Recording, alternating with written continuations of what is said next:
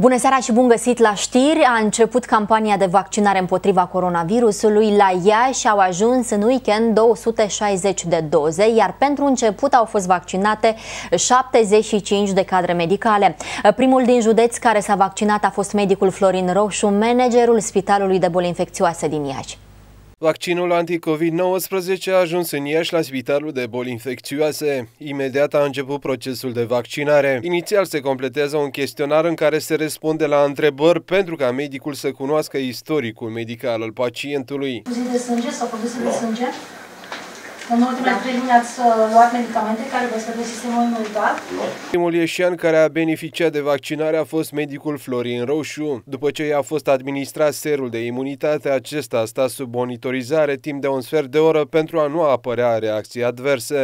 În cele din urmă, vaccinul a ajuns pe piața uh, din România. Așa cum am spus, din punctul meu de vedere, reprezintă uh, piatra de temelie în combaterea pandemiei. În prima zi au fost vaccinate 75 de cadre medicale. În acest lot de cadre medicale nu s-au sesizat reacții adverse, iar medicul Florin Roșu spune că anticorpii apar imediat după administrarea vaccinului. Imunizarea apare însă după a doua doză de vaccinare peste două săptămâni. Campania de vaccinare continuă și în zilele următoare cu cadrele medicale înscrise pe liste.